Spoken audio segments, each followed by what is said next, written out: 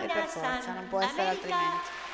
E comunque, sì, come dicevamo, cerca ancora una sua identità probabilmente. Ha cercato anche di cambiare il look su consiglio eh, del suo coreografo Michael Seibert, però probabilmente ancora qualcosa manca. Anche se a me il rippon di Brian Horser del, Era dell'era era bellissimo, no? Allora, seguiamo l'altro atleta statunitense in gara, Ross Miner, quinto a Skate Canada.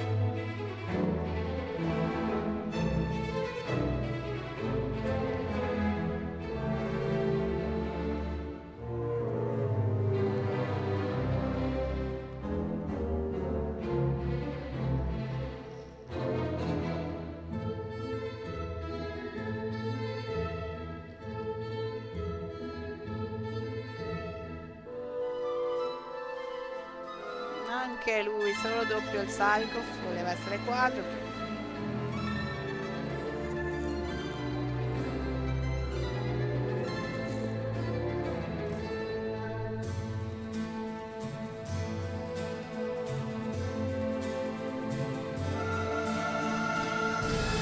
Triplo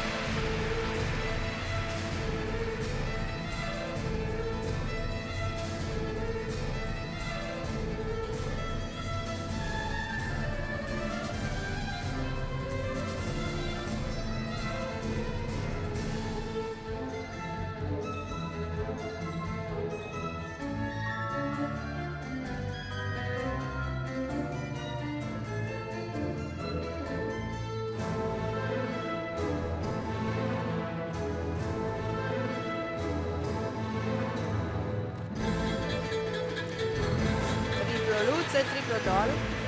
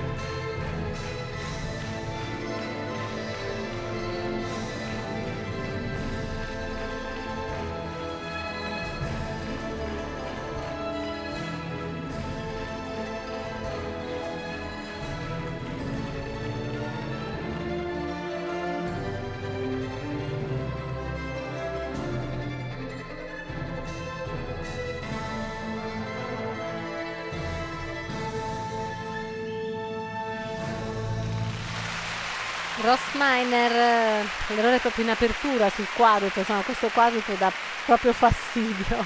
Eh sì, eh sì, questo quadruplo è, è difficile da affrontare psicologicamente e a volte c'è questa rinuncia interna. E, e qui è successa la stessa, lo stesso guaio che è successo ad Adam per il triplo. per il triplo axel.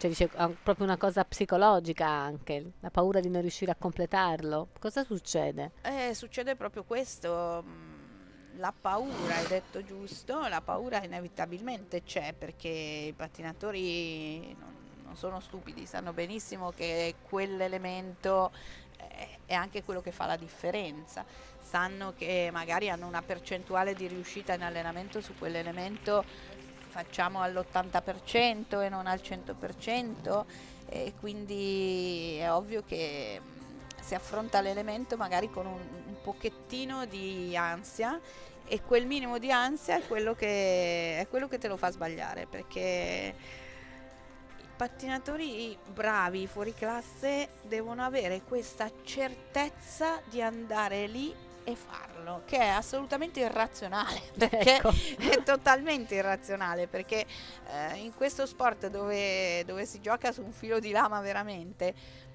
tu non hai mai la certezza di niente, è un continuo adattamento, la sensazione non è mai la stessa, però la, la forza, la forza psicologica dei, dei campioni veri che io sento è che eh, prima di scendere in pista glielo leggi negli occhi e lo dicono con le parole che andranno a farlo. Non, nella loro mente non passa neanche minimamente. Che non possano riuscirci. Esatto, la, l'idea che, che, possa succedere qualcosa di contrario. E quelli sono, sono fuori classe veri. E altri invece magari più razionali, più dirigenti, più si allenano bene, tutto quanto, però all'ultimo gli viene questo minimo dubbio e questo è quello che li uccide. Allora, 37 e 79, comunque il miglior tecnico finora, 34 e 61 per il presentation score e con 72 e 40 va in prima posizione e va dunque a superare Kevin Reynolds che aveva eh, 70 e 20. 37 e 79 contro i 37 e 06 di Kevin Reynolds per quanto sì, riguarda il tecnico. lì.